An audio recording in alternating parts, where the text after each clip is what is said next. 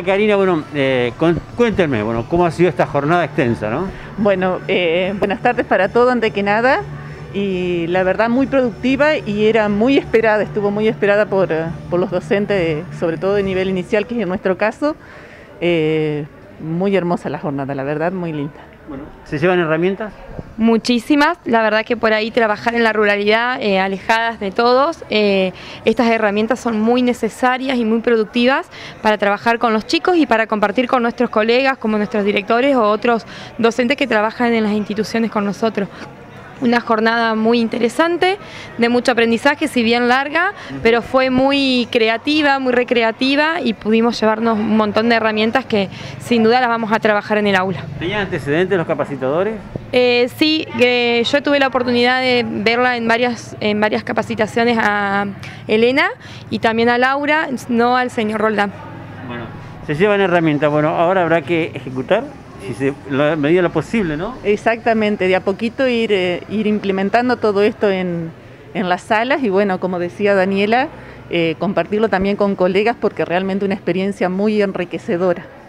Y lo que se refiere a reflexionar con, con lo que vieron hoy, ¿En qué te hizo reflexionar esto? A mí en mi parte, eh, como le decía Roldán, que por ahí el juego tiene que ver en el contexto en el que están los chicos y por ahí me, pasa que trabajar en dos instituciones diferentes veía que, sí que realmente tiene que ver con el contexto donde viven los chicos y cómo son las familias también, porque en mis dos escuelas la verdad que la manera de jugar de los chicos son totalmente diferentes y en una de hecho tuvimos que aprender, o sea, enseñarles a los chicos a qué era jugar y cómo jugar con ellos y que podíamos hacerlo con simples elementos como mostraba Roldán, que con una botella podemos confeccionar un montón de juegos. O con una latita o con una tapita podemos realizar un montón de juegos y, y revalorizar esto del juego, la importancia de jugar, que a veces hasta los papás la pierden, digamos, en lo en lo ay no me sale la palabra. Cotidiano. en lo cotidiano me pasó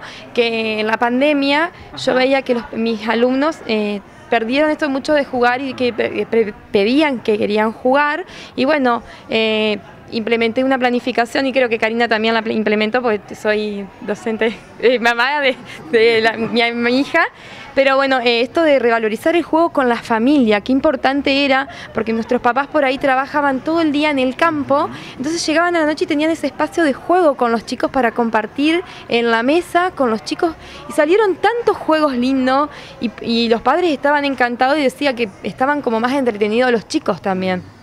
Bien, tener este tipo de capacitadores, digo, que son de nivel nacional, en nuestro pueblo, en nuestra localidad, es realmente valorable, ¿no? Sí, eh, capacitadores de excelencia, como le decimos nosotros, y por ahí el, que estén acá es súper importante porque los viajes, sobre todo, eh, nos complican, o sea, no solo el viajar, sino también los horarios que implican el trasladarnos nosotros.